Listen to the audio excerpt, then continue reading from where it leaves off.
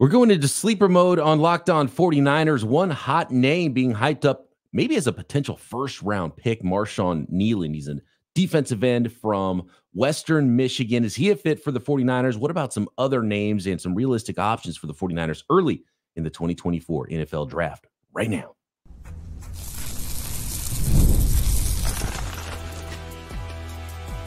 You are Locked On 49ers your daily San Francisco 49ers podcast, part of the Locked On Podcast Network. Your team every day. Welcome to Locked On 49ers. Brian Peacock and Eric Crocker at BD Peacock at Crocky209. Thanks everybody for making us your first listen on the Locked On Podcast Network, your team every day. We love our everydayers and we love it and we appreciate it. Please subscribe on YouTube and everywhere you get your podcast. Today's episode of Locked On 49ers is brought to you by Monopoly Go. I admit it, I have a competitive side and I'm a big fan of Monopoly Go because the mobile hit has a twist on the classic Monopoly. So join your friends and download Monopoly Go. Be competitive with Monopoly Go, now free on the App Store or Google Play. All right, Croc. Speaking of being competitive, I can see how juiced you were to talk about a power edge because you were flexing in the intro there. And uh, you did something, Croc, that I did when I put on the tape for Marshawn Kneeland. I immediately went back to Darius Robinson, the other power edge that the 49ers could be considering at the end of round one, just to compare the two. And I think there's a clear winner between those two.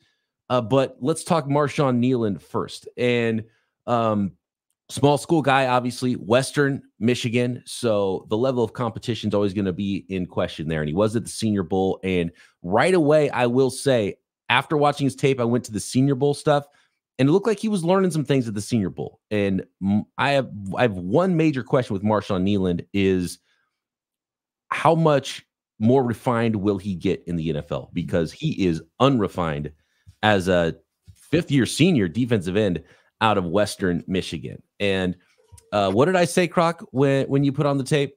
I said, "Tell me what he does with the first rep, and then you can turn it off because that's what he does with every rep. All bull rush all day. Bull rush enthusiast is Marshawn Kneeland, and he does bring some power. He's got uh, powerful hands. He's got a filled out frame at 6'3", 267 pounds. Uh, he's a high motor player as well, and he can push the pocket.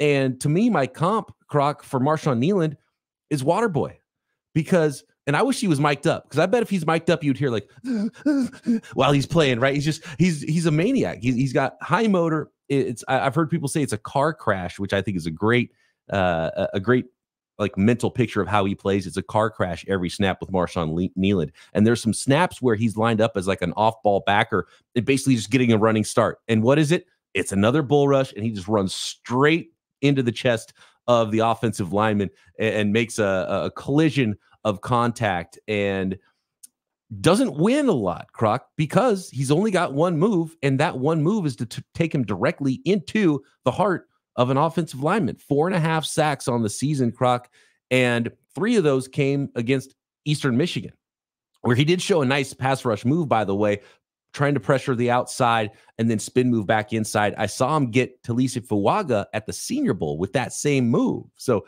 chalk one up to a, a first round offensive tackle that we really like in this class. Um, and the athletic testing, Croc, is where I is where I question what my eyes see, what he could be. And it might be why the 49ers brought him in for a 30 visit and why 15 of half the league croc. Marshawn Kneeland went on 16 30 visits around the league. So that might be why he's a hot name in draft circles because he's visiting everywhere. And does that mean teams are just want to get a look at him because they can't figure him out? He's a small school guy and they want to complete the picture. I have a feeling that's what it is, Croc. Well, I, I remember being recruited, and, and, this not to the NFL, but to college. And when I showed up on the college campus, excuse me, the first thing the coach did was feel my shoulders, right? You know, just kind of touch me a little bit, right? Uh, no, did he? And you kind of want to get a sense in person of like how this person is, how it looks. Do these things match up with what you've seen on film and maybe the numbers? And I think you know, what you see on film is a guy that definitely wants to use his power. I think you even alluded to before we started man, guy, like, you know, I think he kind of needs more of a pass rush plan. Like, I think that is his plan. Win with strength. But when you see some testing numbers and they're not quite right, you're like, you know what? Let's get this person in. Let's put him through some drills that that we like, right? Get him on one of those visits, do some drills, do some movement stuff. Is is there more? Are are there different areas where you know what, man, he does this very well. Sometimes I think we always look at, even you and I, would look and then kind of really straight go to the not negative, but just some things that you don't quite like about him. But maybe they're looking at it like, you know, what do we like about him? What he can does, do, not what he yeah, can. Does play with strength, does play with power, can bullish guys, can get the quarter, you know, push a guy into the lap of the quarterback. Now, if you have that extra athleticism, and and this is the part where you got to be a good scout. Do I see? I remember uh, watching CeeDee Lamb, and if you throw on CeeDee Lamb highlights, you see just run after catch, run after catch, run after catch, all these plays. But when you actually watch the all 22, you get kind of bored because it, it, it wasn't anything like special about anything he was doing. Kind of ran his routes real slow. Everything looked like maybe like a read progression. And then I watched UCLA and I saw, oh, there's the twitch. Oh, there's a suddenness. Oh, look, threatening the guy with his piece. Oh man, if I can get this all the time. And all of a sudden, the guy who if you go back to my tweets during that draft class, I'm like, ah, I'm not as high on CeeDee Lamb. I don't quite see it. Then I saw it. Oh, he was my wide receiver one. Once I, I, that, Croc. I had you, I had you on the podcast. We were talking corners and we talked wide receivers. And you were a little bit down on CeeDee Lamb. And then you went back to the tape again. And then you found some reps that showed what the high end stuff could be. Uh, and yeah, he ended up being your wide receiver one in that class. He was my one B. I had one A, one B with, uh, and I missed on uh, on our guy from Alabama, um, uh, Jerry Jeudy. Yeah, Jerry Jeudy. He he actually got a little bit of money, which I'm surprised about by the Cleveland Browns after he he uh, they so traded with a guy that just got that kind of contract extension. I mean, he's it wasn't a miss as in he's not out of the league, but it was a miss as in Lamb was better, Aiyuk was better, Justin Jefferson was better and he was my one A to one B with CeeDee Lamb, and really was just the the the top speed is why was the tiebreaker between me and Lamb because I would see those like slants where you catch him and hit the seam and take it to the house, and you just don't see that in the NFL. And and his troubles at the catch point and you know catching in traffic and you know uh, CeeDee Lamb is a seven on seven god, I'm sure, but uh, it didn't that certain style of play didn't translate as well to the NFL, and uh, and I missed on that. That that was a part, and, and that's tough, right? When you're evaluating any of these players, and we're, we're talking about uh, Marshawn Kneeland right now, but even with Jerry Jeudy, it's like how how much how do you weigh something? Can he improve on it? And that was the big thing. He played the fastest out of anyone in that class in route, like just the, the threat of his speed. But the big knock, he had nine drops. And when you watch the film, they're all when bodies are around them or the threat of a body, you know. So uh, with CeeDee Lamb, that's what kind of bumped him up for me. I'm like, oh, okay, well, you do this, okay, you could do that, and you finally see it. And maybe with Kneeland, the teams that all want to see him, it, they maybe watched it how we watched it, not bull rush, bull rush, not anything fancy. You see a few clips, and you tie that with his uh, numbers, his testing numbers, and you said mm, maybe there's a little bit more. Let's bring them in. Let's see it. Let's go back to the film. And now all of a sudden, like you're saying, 30 visit with 15 teams, first round draft hype right now, maybe the 49ers are seeing that same thing. And maybe there's more upside, they believe. And that's what you're looking for too at pick 31. It's not all about like just the finished product, right? Like the, the guys that are going at the top, they have like the upside with the production, with the testing, everything is all there. When you're drafting at the you know bottom third of the first round, there's got to be a little bit more projection with it. And maybe teams are starting to like that project, projection a little bit more with Kneeland. Next, I want to talk about his testing. Uh, some reasons why I actually do not like Marshawn Leland, uh, Marshawn Kneeland for the 49ers in round one. Next.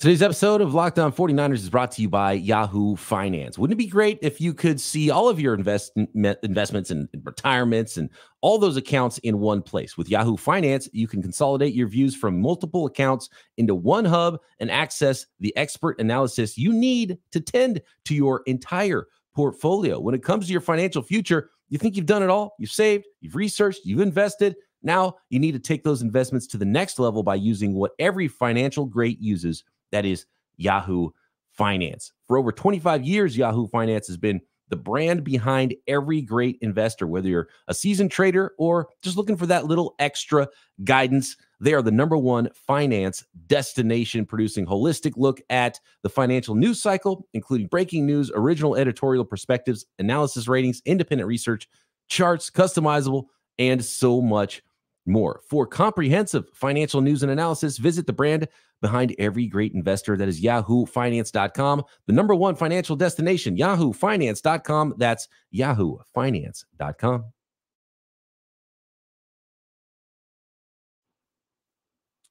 So putting on the Marshawn Kneeland tape, you see some athleticism and you mostly in a straight line and you see him push the pocket a little bit, strong hands.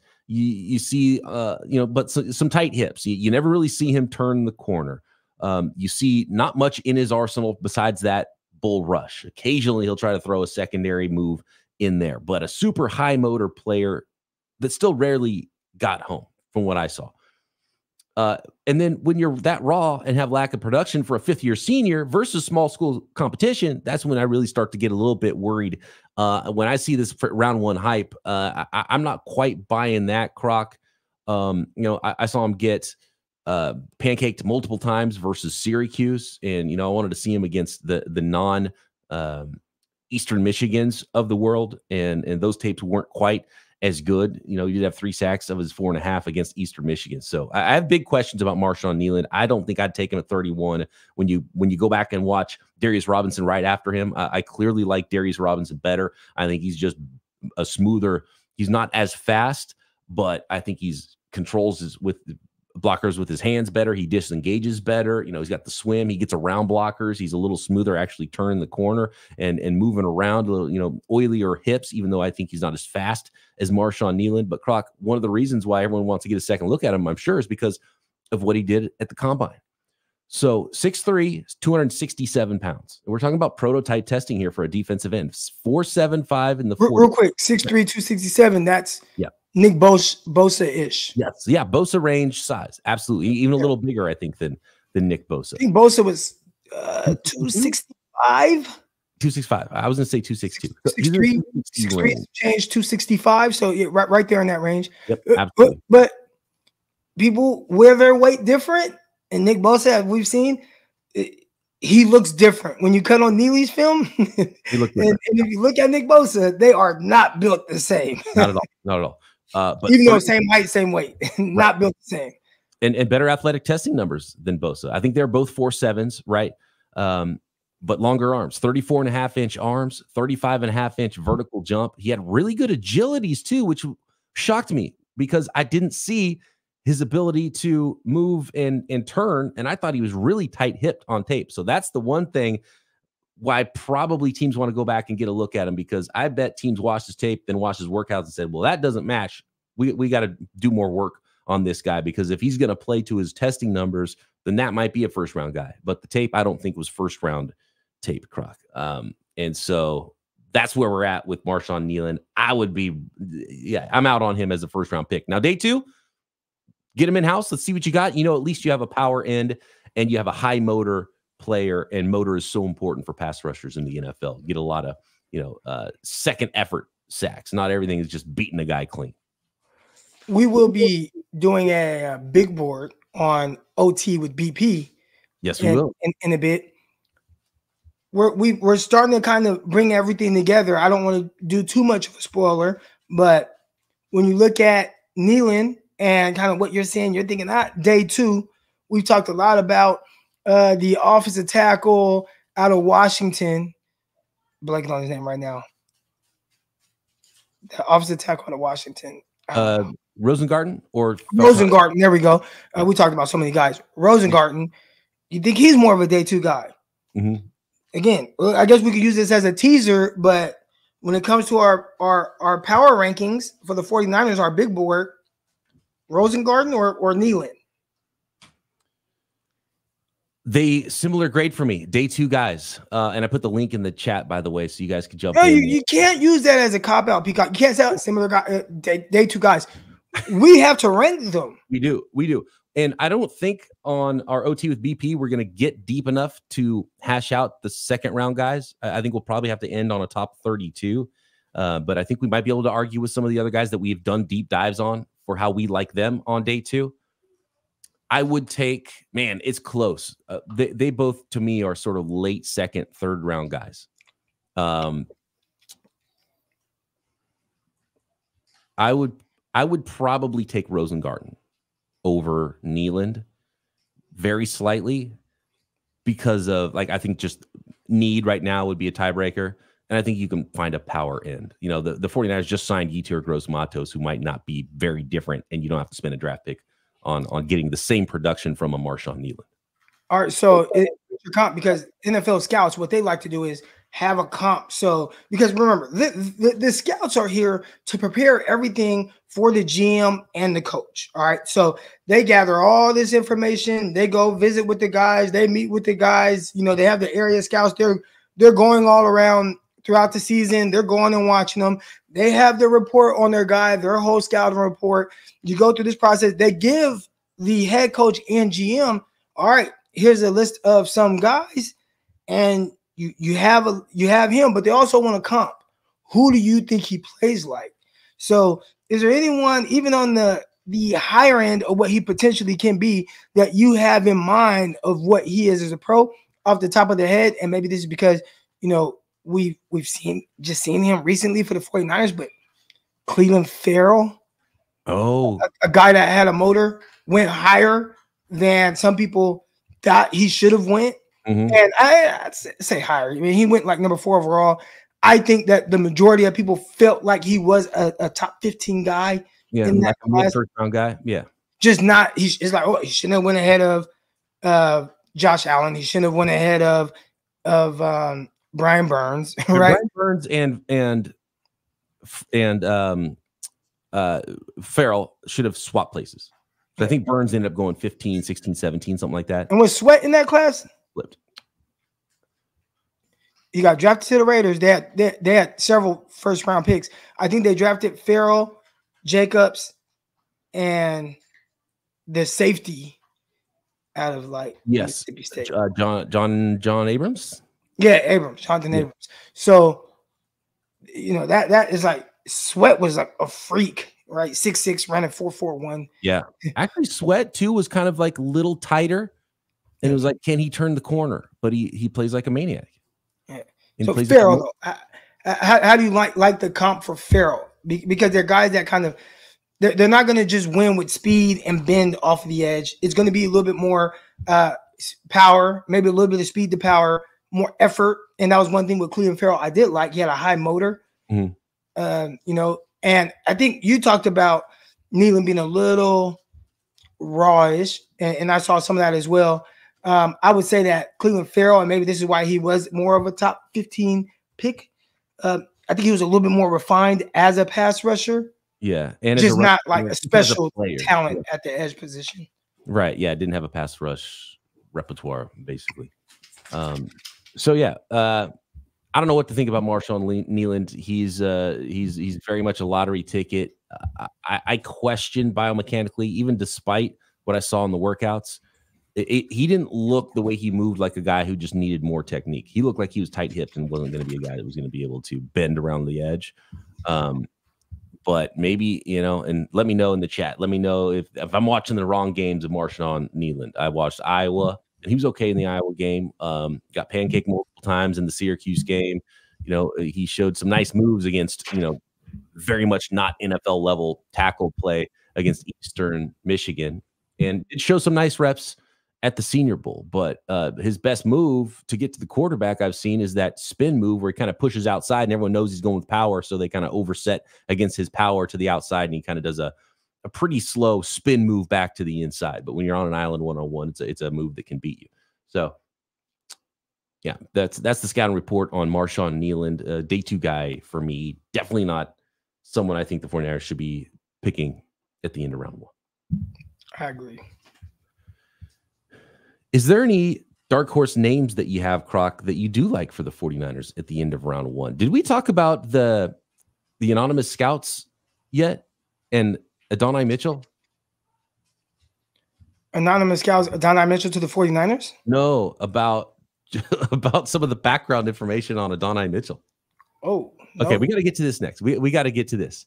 Um, I think a player the Niners might be out on based on w- what uh, Bob McGinn had in his, and he's he's the guy that does like the best mock draft every year. He's plugged in. He's been doing this for 30, 40 years. He has tons of connections with executives and scouts in the NFL, and he always puts out this article every year, and then has one of the most accurate mocks on the morning of the of the draft with all his best intel that he's collected from all of these scouts around the league. So let's let's let's, let's talk anonymous scouts next, and and what we think is the right um uh the right players maybe for the 49ers before we go OT with BP later and really hammer out this big board for the San Francisco 49ers next. Today's episode of Locked On 49ers is brought to you by Monopoly Go. We've all been there either as a player or a fan. It's halftime. The scoreboard is not looking good. You're feeling low, not sure you or your team can pull out a win. That's when you dig deep, you lift up your head and say to yourself, it's time to get back in the game, pull off some bank heists, and take as much of my friends' money as I possibly can. That's right. The smash hit mobile game Monopoly Go lets you compete with your friends to get the most riches and the biggest empire. It's the Monopoly you love, but on your phone, anytime, with tons of new twists, including leaderboards to compare your progress to your buddies. There's so much to do. Uh, you can steal your buddy's money. You can uh, bankrupt your friends. You can charge them rent on all the iconic Monopoly properties, but you can also work with your friends to crack open community chests and in tournaments to get extra rewards and climb the leaderboard. So get back out there, put your game face on, and download Monopoly Go now free on the App Store or Google Play.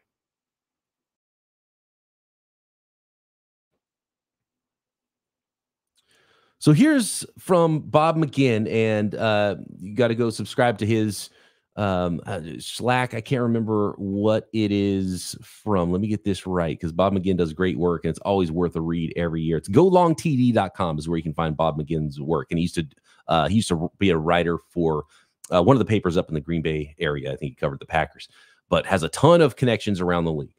So this is what, I'm just going to give you one example of some of the stuff that teams are dealing with, right? Because we are we're flawed humans evaluating flawed humans, and the tape is one thing, but there's so much other stuff. And that's another reason to not look too deep, maybe into all of the 30 visits, because some of it is medical checks, some of it is character stuff where the guy got in trouble and they're trying to, you know, talk to the person up front and have a meeting with them and try to really figure out who this person is, if they should be on their draft board or not.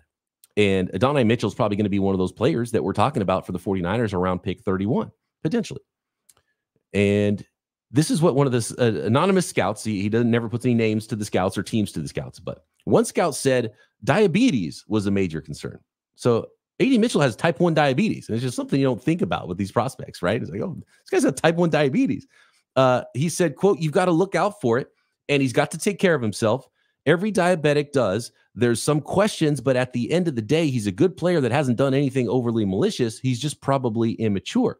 And another scout goes on to say He's got Garrett Wilson esque catch radius, athletic ability, body control, but he's almost uncoachable. Before you can, eat, before you even get to the diabetic part, he's kind of going to do it his own way. He's a little bit of a wild horse. You've got to see if you can harness him in. Then, once you do that, he doesn't address the diabetic stuff in a mature way. He's very much a boomer bust type of guy. Um, and you're going to have to assign somebody to be next to him for his first few years because his issues are all about his diabetes and his blood sugar. When his blood sugar is off, he's rude, he's abrasive, he doesn't pay attention in meetings. It's why you get really, really bad character reports coming out of Georgia and Texas. But when his stuff is normal and they get him normal by lunchtime, he's out at practice, high energy, best practice player, loves football. So there you go. It's just like something that you don't even begin to think about when you're watching a guy on tape. And then Croc, when you realize he's running half speed and and doing all of these things, um, oh, we I, we might have a, an expert in the house on this subject. I like this. Okay, um, but th- I mean, there's, there's, so much going on with these prospects beyond just what we see on the tape, Croc. I had to bring uh, Mrs. Crocker over, a- a- also known as Nurse Crocky. All right, my, my wife, she's a registered RN, And we will address the off the field stuff outside of the diabetes. But what I'm going to ask my wife, and I'll put the headphones on her. And if you have any questions for her, you can ask. But uh, they're saying that this kid, let's call him a kid, but he's about 20, 21 year old athlete. Um, he had type 1 diabetes. So I'm going to ask you some questions and then you can respond. And if uh, Peacock has any questions as well, you can respond to him. Right. So go ahead, put the headphones on, ma'am. Oh all right, we got we got RN registered nurse, uh, Miss Stevie Crocker, fresh off of work, as you can see, still has to go back to work. But when you hear that an athlete has diabetes, what things should a, a, team be looking out for with this? Do you think it's a huge red flag? Do you think it's not that much of an issue? What would worry you about that? Mm, not really. There's not really like any worrisome it would just be that you know a compliant diabetic is the most important thing. So monitoring his blood sugars but actually exercise is really good for diabetics. It helps regulate the blood sugar. So you know the being that he's an athlete shouldn't really be worrisome that he's a diabetic. Um, but i would just say you know making sure that the team is uh, well educated on signs of like hypoglycemia or hyperglycemia because that can be really dangerous if he drops too low or if he goes too high. Um, so I would say that would be the biggest thing is just making sure that the people, you know, or coaches, whoever, are well aware of um, those signs. But outside of that, you know, like I said, exercise and um, a proper diet is is really good for diabetics. Um, exercise especially helps really keep the blood sugars regulated. So. What's up, Nurse Crocky? Thanks for for joining the show. That's excellent information there. Uh, and it, it, would definitely affect an athlete's ability with endurance. And we were referencing, and I don't know if you heard that part. We were referencing a report about how you know some days he's you know he can't get ready to practice by lunchtime, and his mood is up and down, and all of these things. Yeah, um, definitely. You know, if he's going too long, and you know, I'm not sure everybody's, you know, if he's on insulin, but everybody's insulin schedules are different, everybody's doses are different. So, um, and you know, they're it's an autoimmune disease. So he's a lot more prone to, you know, sicknesses or viral viruses that are going around. Um, there could definitely be days where he's just struggling a little bit harder based on his blood sugars.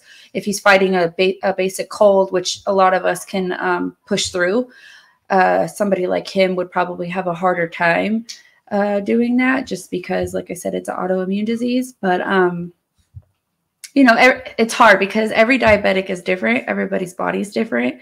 So, you know, there's no textbook um, diabetic. Everybody is pretty much different. W- would you be comfortable saying, all right, pick 31, we're the San Francisco 49ers, we potentially may need a receiver in the future? Would you say, all right, this guy who they're saying may not be very well coach coachable?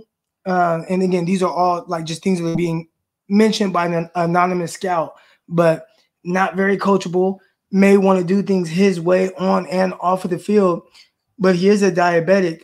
Would that worry you to invest, you know, four, five, six million dollars into this athlete? You said he's not coachable? That's what the that's what the anonymous scout is saying. Well, diabetic or not, if you're not coachable, I don't think it's worth it.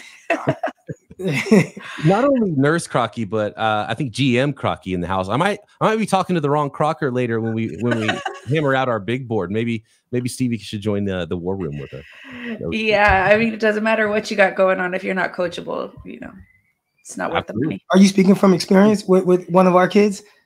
I mean, yeah, not saying that mean, he's not we, coachable, but yeah. just with what you've seen and like maybe things like ah, it needs well, to I just feel like I just feel like anything in life, it's not even about sports. Like you have to be coachable in anything you do in life. So, and if you're not, you're going to stay stagnant, and you know nobody's going to want to invest in you or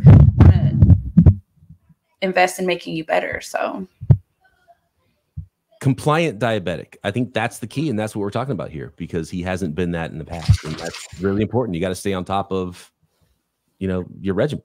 Yeah no compliance makes a huge key. Um you know i have so many or have had so many um, patients that you know it, it is hard it's a hard disease to manage because it does affect a lot of different aspects in your life but it only affects it so much if you are non-compliant. You know if you're and it's not it's not necessarily easy disease to manage but there are ways to go about it. It doesn't mean that you can't have cake or you can't you know um, eat sweets every once in a while. You just have to manage it better and you have to monitor more. Um, but if you can do that and keep yourself healthy and keep yourself active you know it can it can be it can be done. But if he has a history of being a non-compliant diabetic and he's not coachable. It's a red flag. Two red flags. Yeah, there you go. All right, hockey. All right, well, thank you. For information. Appreciate you. Love that. All right. Fantastic stuff there, Croc. Clearly, the brains of the operation in the Crocker household uh, is, is, Mrs. Crocker. Uh, it's great scouting advice and uh, team building advice, as well as uh, medical advice there from from Nurse Crocky she she deals with me coaching a lot, and I'll come home and I'll talk about certain players or athletes, and that's one of her biggest pet peeve: a, a kid just not being very coachable. Um, so when she hears that, that's a huge red flag to her because she has her perception of what that looks like with the kids that I'm, you know, encountering. Absolutely. So that's why she's like, even outside of the the diabetes stuff, if right. if you are talking about a guy that you know, maybe doesn't take the coaching as well as the next person, that's a guy that you likely want to pass on. All right, Croc. Well, I wonder if we've got to take AD Mitchell then off of those red flags. Do we take the red flag guys off of our draft board? We've got to figure that out. Uh, everybody, join us next. We're going to go live here in just a few minutes on the OT with BP channel. And it's going to be something that's going a little bit longer than what we're going to be able to do here on Locked On 49ers because we are going to hammer out uh, our official big board for the San Francisco 49ers, our Locked On 49ers big board. Uh, as GM and assistant GM of the Locked On 49ers podcast, what we think of these players for the 49ers, how we rank them going into draft day a week out now from the start of the 2024 NFL draft in the uh, chat. Going to drop the link there for anybody who wants to join in just a minute. For those who listen on audio pods only, go check out the YouTube pods. Check out Locked On 49ers. Subscribe there on YouTube and definitely hit subscribe on the new Overtime with Brian Peacock, OT with BP channel. It's YouTube only and just some other longer form conversations, a little uh, less, uh, um, you know, fewer rules, no time constraints. I can kind of do whatever I want there. We'll talk cocktails, we'll talk 49ers, we might talk some baseball, we might talk anything. Who knows? No rules on OT with BP. And of course, Croc and I will be back Monday to break everything down going on with the San Francisco 49ers. And we will talk to you then, right here, Locked On 49ers.